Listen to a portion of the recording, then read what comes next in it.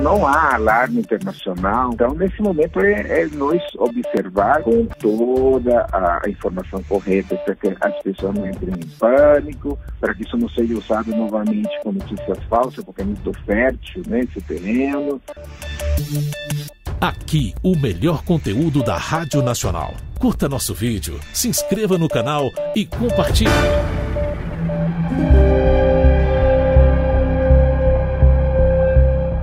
Olá, sou Walter Lima, sou âncora do Revista Brasil. Estou aqui para convidar você para acompanhar a entrevista que fizemos com o Dr. José Davi Urbaez. Ele é consultor da Sociedade Brasileira de Infectologia. O assunto a diferença entre varíola humana para a varíola dos macacos. Todos nós sabemos que a varíola humana está erradicada no mundo. Mas e essa varíola dos macacos? Quem está vacinado corre o risco de ser alcançado por essa varíola? São perguntas que buscamos as respostas com o nosso convidado. E é evidente que você também é nosso convidado para acompanhar essa entrevista.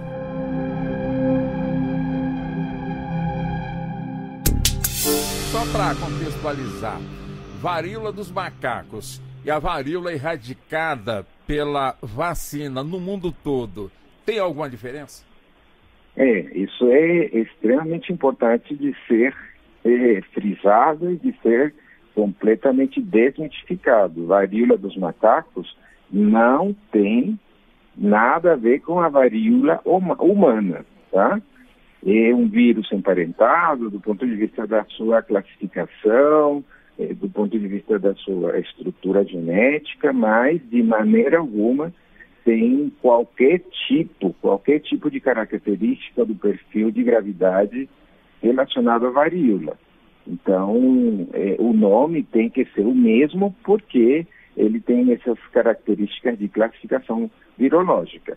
A diferença e... está no perfil da gravidade, doutor Davi? É, a, a, diferença fundamental diz respeito à gravidade. Ela, ela, é uma, uma doença infecciosa muito mais parecida com varicela, ou seja, com catapora, que praticamente todos nós já conhecemos alguém ou já sofremos de catapora na infância, em termos de eh, o seu desenvolvimento nas pessoas e em, termos da eh, perspectiva de gravidade.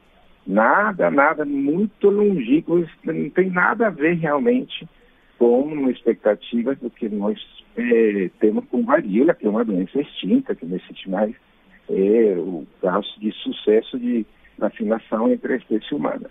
Agora, quem está vacinado contra a varíola humana está sujeito a pegar a varíola dos macacos?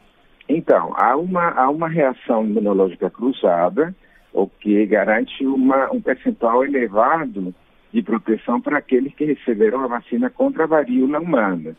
Isso lembrando que essa vacinação ela aconteceu nos países mais ou menos até a década de 70. Então, a intensificação dessa vacinação, ela finalizou lá entre 70 e 75.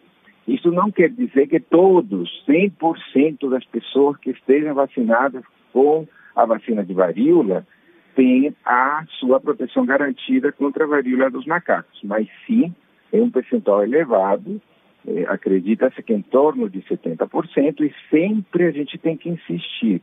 É uma nova situação epidemiológica, nós vamos é, acompanhar, fazer a vigilância, e as conclusões definitivas nós teremos daqui a umas semanas, uns meses, em relação à evolução desse surto. Só mais uma pergunta, ainda no campo justamente do perfil de gravidade. Varíola humana mata? Varíola dos macacos também mata, doutor? Ah, essa é uma pergunta muito perigosa, ah, porque resfriado comum mata, tá? Nós temos um resfriado comum que mata uma pessoa idosa, imunossuprimida, mesmo assim não deixa de ser uma, uma doença absolutamente benigna. Igual acontece com a varíola dos macacos. Ela é, evidentemente, em pacientes imunossuprimidos, em crianças desnutridas, em casos sem assistência, poderá vir a levar a óbito, como qualquer outra doença. Ser até exagerado, mas sarna, escabiose, já teve pessoas que morreram de sarna, porque você tem um ataque de sarna intenso, onde você pode ter uma infecção secundária e você pode virar óbito se você for desnutrido ou imunossuprimido. Mas isso não quer dizer que são doenças graves na percepção do que nós temos dentro da classificação das doenças, doenças infecciosas. Nós estamos conversando com o doutor José Davi Urbaez, ele que é médico, é consultor da Sociedade Brasileira de Infectologia. O senhor também conversa com o editor da Agência Brasil, doutor Davi, o Aécio Amado. Aécio. Muito bom dia, doutor Davi. A bom minha dia. pergunta é com relação à gravidade na transmissão dessa varíola dos macacos, porque a varíola, a varíola humana era muito agressiva na transmissão. Me lembro, eu era garoto, me lembro que vi um, um, um rapaz deitado numa cama forrada com folha de bananeira, porque aquelas erupções purulenta no corpo inteiro, agarra, usasse qualquer tecido, é, agarrava no corpo e trazia muita dor para quem estava com a doença. Essa varíola dos macacos, ela, a transmissão dela é agressiva e por que ela pode ser transmitida para o humano? Então, a, a, varíola humana é uma doença grave, ela causa, entre outras coisas, lesões de pele profundas que vão né, em toda a espessura do tecido, então por isso que pode ser doloroso, inclusive gerando hemorragias em muitos casos. Isto foi o que levou a óbito, né, pela extensão dessa doença, e tinha uma taxa de letalidade elevada, muitas pessoas morriam. Depois que a varíola humana eh, passa em pessoas que se recuperam, é muito comum que fiquem com marcas na pele muito, muito eh, deformantes, né? E, de fato, isto também leva a muito sofrimento. Nada a ver com a varíola dos macacos, como insisti no início. A varíola dos macacos é um quadro que, se a gente pode comparar com alguma outra doença, só para a gente ter uma ideia do que está acontecendo, é com catapora que é uma doença benigna, que né, ninguém, em, momento algum, tem toda essa preocupação, mesmo que a gente saiba que a catapora, em algumas circunstâncias, leva a óbito, como já insisti anteriormente, algumas pessoas imunossuprimidas, ou crianças muito desnutridas, ou com é, uma proteção muito pequena.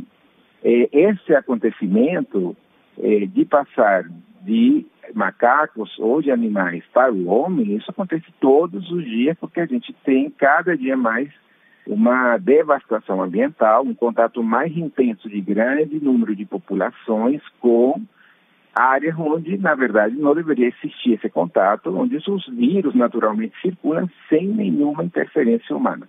Enquanto a interferência humana se torna mais intensa, mais devastadora, mais importante, isso acontece muito na nossa Amazônia, por exemplo, isto terá ah, e tem de fato essas consequências. E aí você tem ali no mais um mundo globalizado, um mundo urbanizado, onde você tem aglomerações como característica cultural, e isso promove aqueles vírus que tenham essa transmissão por gotícula ou por contato eh, direto entre as pessoas. Doutor Davi, isso não significa né, que já está, se ocorre essa transmissão macaco-humano, que as pessoas saiam por aí é, eliminando os macacos aí, que foi na área urbanas. Não, né? pelo amor de Deus, uhum. imagina, né? A, a, o que as pessoas têm que eliminar, e se pudesse ser eliminado, é a invasão que nós, seres humanos, temos nos ecossistemas animais, que nós destruímos a natureza. É, de forma alguma, é, algum animal é responsável por essa situação epidemiológica. Isso também vale para a Covid, que não estamos ainda nesse sofrimento, e vale para outras, leishmaniose, doenças de Chagas, febre amarela, e inúmeras doenças infecciosas, onde eh, elas circulam tranquilamente entre animais que ficam nos seus habitats, e o ser humano é um ser humano invasor. Nós somos elementos de destruição ambiental como nunca se viu na história geológica do planeta. Agora, doutor Davi, é claro né, que a, a varíola dos macacos está alcançando alguns países da Europa, como também nos Estados Unidos. Mas a pergunta é a seguinte: existe prevenção para ser tomada pelo humano para, de certa forma, não ser contaminado, não pegar aí a varíola dos macacos? Então, do ponto de vista de saúde pública, aí você tem, novamente, isso é obrigação nossa, fazer todo um aparato epidemiológico para o primeiro, primeiro é você detectar precocemente o aparecimento do problema. Então, aqui no Brasil tem alguma suspeita, na Argentina tem alguma suspeita, e pela característica do que está acontecendo, é esperado que venha a se eh, confirmar a presença em todos os territórios. Depois disso, aí nós teremos as medidas clássicas, que são desde identificar pessoas que não são suscetíveis, porque, por exemplo, a vacina de varíola já está fazendo seu papel, até nós termos aquele cuidado muito especial com populações mais vulneráveis, como seriam imunossuprimidos e crianças, onde teríamos que ter medidas mais potentes que vão desde isolamentos ou até o uso de medicações que já existem, que são medicações que são eh, que foram já testadas para a varíola, para a varíola humana, que em última análise, lá no limite de uma situação, nós teríamos também a possibilidade do seu uso. Mas por hora, por hora, é uma situação em andamento, uma situação de total perfil benigno e que não tem, como não é uma doença nova, como aconteceu com o Covid-19, onde nós estávamos cheios de incertezas, é uma, é uma infecção com doença que nós já conhecemos e que ela é endêmica na África, isto é, todos os anos tem um conjunto de casos, então não é a mesma situação. Então, nós podemos caminhar por um, por um trilho de maiores certezas. Não essa questão da, da obscuridade que acontece quando um vírus entra em contato conosco pela primeira vez. Isso que nos deixa com um pouco mais de alívio em relação às consequências que esse surto possa vir a ter entre nós. E de maneira alguma confundir as coisas e colocar isso no nível de gravidade que a infecção não possui. Entendi. Aproveitando esse raciocínio do senhor, é, é, já é hora do país, o Brasil, pensar em barreiras sanitárias ou ainda é muito cedo para isso? Ou não há necessidade disso, doutor Davi? Não há necessidade. A gente não faz barreira sanitária para para varicela, né? A gente não faz para catapora barreira sanitária. Eu que acho que por ser uma situação nova, toda situação nova merece todo, ou como eu falei, um, um acabouço epidemiológico para nós conhecermos o problema, onde que ele está, como que ele se desenvolve, e sem dúvida, aí nós teremos que tomar medidas que vão, eh, sobretudo, a garantir a assistência dessas pessoas e, sobretudo, a classificação daqueles que possam ser vulneráveis. Isso acho que seria a grande missão que sempre toda autoridade sanitária eh, conduz ou deveria conduzir e que, sem dúvida alguma, já isso está ativado né, dentro de, do, dos diferentes níveis de gestão. Doutor, é, a, a varíola do, dos macacos, ela, ela existe já há muito tempo. Eu gostaria de saber o seguinte: existe uma, uma vacina, um imunizante contra ela e como não confundir a catapora com a varíola do, dos macacos? Então, é, a vacina pode até existir, mas o nível de, de produção industrial e tudo mais, isso não é, é condicente com o problema, porque o problema ainda é muito pequeno, né? Nós estamos em, em, em uma dimensão de uma centena de casos, em situações muito particulares. É, então, não há alarme internacional, não há, não há nenhum tipo de medida emergencial, isso nem se parece sequer ao que a gente vivenciou com o Zika, né, que nós tivemos uma situação de extrema gravidade, não pela a sua situação na população inteira, sino pelas suas consequências entre mulheres gestantes. É, então, nesse momento, é, é nós observarmos e estarmos preparados para assistir com toda a, a informação correta essas pessoas, para que as pessoas não entrem em pânico, para que isso não seja usado novamente com notícias falsas, porque é muito fértil né, esse terreno, para as pessoas entrarem no pensamento mágico e irracional. No caso da Covid-19, por ser um, vírus novo, existiam lacunas gigantescas que a gente foi preenchendo e que ainda existem. Agora, nós estamos falando de um vírus que é conhecido entre humanos desde 1958 onde se passaram mais de 60 anos. E um vírus que, como já falei, estou repetindo, ele circula, tem casos, ou seja, o manuseio de casos humanos já se conhece, como que acontece. Então, é, é uma situação, digamos assim, que preocupa no sentido de ser nova e que isso sempre angustia a população, mas que nos deixa com, com um pouco mais de eh, tranquilidade no seu manejo e nas suas consequências, sobretudo isso, nas suas consequências. Tá muito bem. Doutor Davi Urbaez, médico consultor da Sociedade Brasileira de Infectologia. Foi um prazer ter realizado essa entrevista com o senhor, muito bem esclarecida. Muito obrigado ao senhor pela atenção e pela gentileza, doutor Davi. Imagina, te agradeço pela oportunidade e sempre estamos aqui disponíveis né, para bater essa, esse papo com a população, sempre procurando as melhores informações.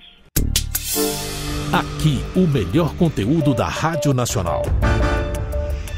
Se você gostou, curta nosso vídeo, se inscreva no canal e compartilhe.